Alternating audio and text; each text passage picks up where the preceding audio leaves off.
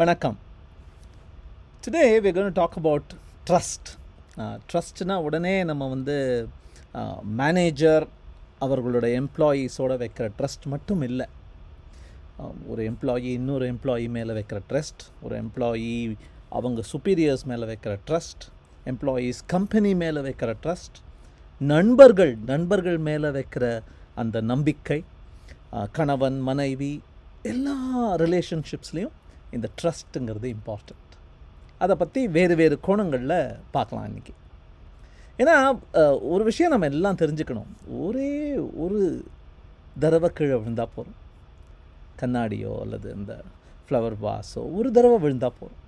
We know what happens அது ஆயிரம் சுக்கல்களாக உடஞ்சிரும். திருப்பி வைக்கவே முடியாது. வச்சு பார்த்தா கூட உங்கள் முகத்தை ஆயிரம் முகங்களாக காட்டும். இட்ஸ் ஆல்மோஸ்ட் ஆஸ் இஃப் அந்த பியூராக சிங்கிள் பர்சனாலிட்டியாக இருந்தது. ஒரு தடவை அந்த ட்ரஸ்ட்டை நீங்கள் உடச்சிட்டிங்கன்னா ஒரு தடவை நீங்கள் நம்பிக்கை துரோகம் அப்படின்னு பண்ணிட்டீங்கன்னா நீங்கள் ஒரு ஆயிரம் பர்சனாலிட்டிஸாக மாறிடுற மாதிரி ஒரு ஒரு டச் கொடுக்கக்கூடிய அளவுக்கு டேஞ்சரஸான விஷயம் இந்த ட்ரஸ்ட்டை பிரேக் பண்ணுறது அப்படிங்கிறது. இன்ஃபேக்ட் இப்போ இந்த பர்கர் சாப்பிட்ற ஆளையே பார்த்தீங்கன்னா கூட இவர் சாப்பிட ஆரம்பிக்கும் போது அப்படியே ஆசையாக சாப்பிட ஆரம்பிக்கிறாரு. சாப்பிட ஆரம்பிக்கும் போது உள்ள ஒரு கல் இருக்குப்பா. அப்படின்ட்டா. அவருடைய ஹிஸ் ஹோல் இன்ட்ரெஸ்ட் இன்டென்ட் எல்லாமே போயிடும். ருஸ் ரசிக்கவே முடியாது அவரால். எங்கள் அம்மா மேலே எனக்கு கோபமாக வரும். ரொம்ப அழகாக பீன்ஸ் கறி பண்ணியிருப்பாங்க நீள் நீளமாக நறுக்கி. ரொம்ப ஆசையாக அப்படியே எடுத்துக்கிட்டு தட்டில் எடுத்துக்கிட்டு சாப்பிட உட்காருவேன்.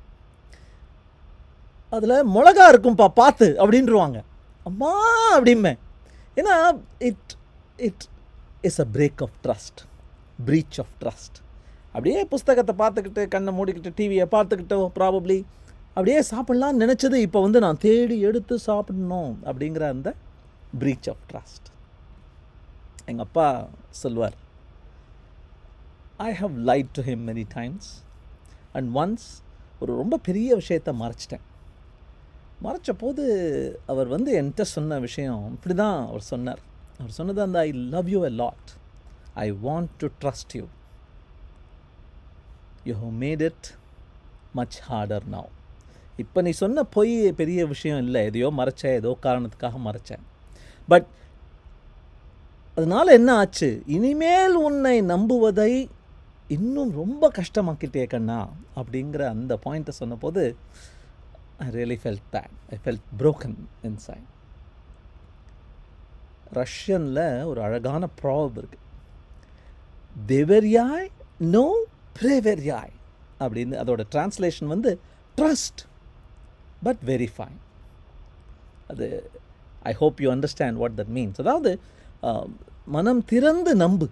ஒருத்தர் வராருன்னா even if that person is a stranger innocent until proven guilty அப்படின்னு சொல்லுவாங்களே இந்த லா சிஸ்டமில் நீ குற்றவாளி இல்லைப்பா. குற்றவாளி நிரூபிக்கிற வரைக்கும் நீ குற்றம் செய்த கொலையாளியாக இருந்தால் கூட நீ நிரபராதின்னு நினச்சிக்கிட்டு தான் உன்கிட்ட பேசவே ஆரம்பிப்பேன்.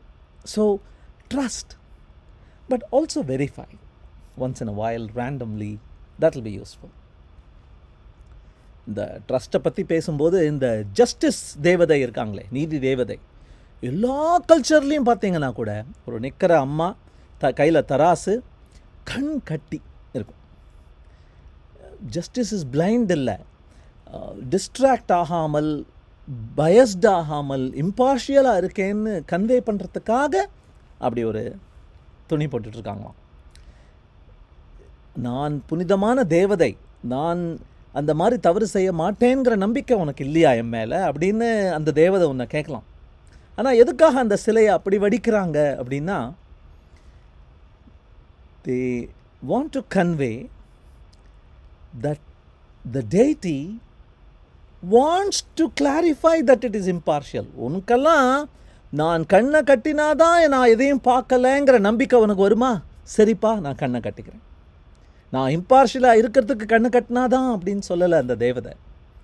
She is saying to bring you to trust me you want me to close my eyes I will do that அப்படிங்கிற அந்த ஸோ ஒரு மேனேஜர் பதவியில் இருக்கிறவங்க நீங்கள் இம்பார்ஷலாக இருந்தால் போராது நீங்கள் இம்பார்ஷலாக இருக்கீங்கன்னு ஒவ்வொருத்தர்கிட்டையும் நிரூபணம் செய்யணும் அப்படிங்கிறது இதிலிருந்து நம்ம கற்றுக்கலாம் ஒரு அழகான புஸ்தகம் first break all the rules அப்படின்னு ஒரு புஸ்தகம். அந்த புஸ்தகத்தில் what the world's greatest managers do differently அப்படின்னு சொல்கிறாங்க நீ என்ன வேணால் பண்ணலாம்ப்பா உன்னுடைய டீம்மேட்ஸுக்கு சம்பள உயர்வுலேருந்து பதவி உயர்வுலேருந்து எல்லாம் நீ கொடுக்கலாம்.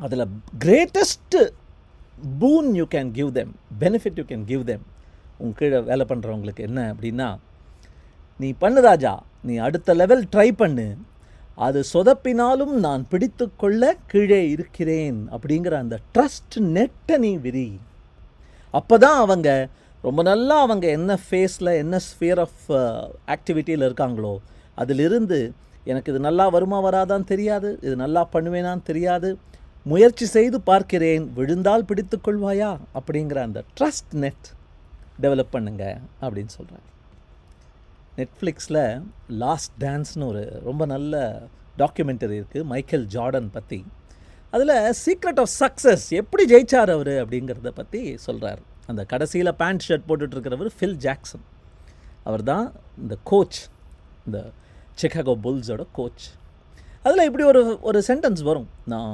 ஒன்பதாயிரம் ஷார்ட்ஸ் மிஸ் பண்ணியிருக்கேன் முந்நூறு கேம்ஸ் தோற்றுருக்கேன் இருபத்தாறு தடவை எனக்கு கொடுத்துருக்காங்க. நான் மிஸ் பண்ணியிருக்கேன் திருப்பி திருப்பி நான் ஃபெயில் பண்ணியிருக்கேன் that is why I succeed அப்படிங்கிற லைன் வரும். இதில் நம்ம மிஸ் பண்ணுற ஒரு சின்ன வேர்டு இருக்கு பாருங்கள் I have lost almost three hundred games twenty six times I have been trusted to take the game winning shot இருபத்தாறு முறை யாராவது உன்னை ட்ரஸ்ட் பண்ணுவாங்களாப்பா? நீ ஒரு தடவை உன்னை ட்ரஸ்ட் பண்ணி நீ விட்டுட்டேன்னா? ரெண்டாவது தடவை விட்டுட்டேன்னா? இருபத்தாறாவது தடவை சரிப்பா இந்தா பந்து ஜெயிச்சு காட்டுன்னு ட்ரஸ்ட் பண்ணுவாங்களா?